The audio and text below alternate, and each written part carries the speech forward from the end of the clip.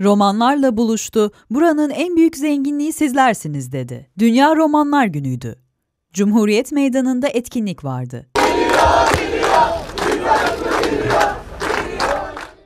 Büyükşehir Belediye Başkanı Cemil Tugay, birlikte değiştireceğiz diye seslendi. Bugün buranın en büyük zenginliği sizlersiniz. Sizlerin yanında olmak da bizim için bir onur. Bunu bilmenizi isterim. Sizler sizler mücadelelerinizde yalnız olmayacaksınız. Sizden benim ricam bizim sevdiğimiz kadar bu şehri sevmeniz, bizim sahip çıkmaya çalıştığımız kadar sizin de sahip çıkmanız. Birlikte bu adaletsizliği, bu eşitsizliği gidereceğiz. Konak Belediye Başkanı Nilüfer Çınarlı Mutlu da eşit yurttaşlık vurgusu yaptı. Seçim çalışmalarımızda bir sloganımız vardı. Adil kent, eşit yurttaşlık diye.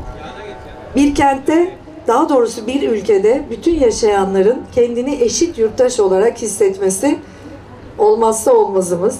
Roman dostlarımızın da istihdamda, kent hakkında, kenti kullanmada, kentin bir parçası olmada kendilerini eşit hissetmek talepleri, eşit olma talepleri kuşkusuz çok saygıdeğer.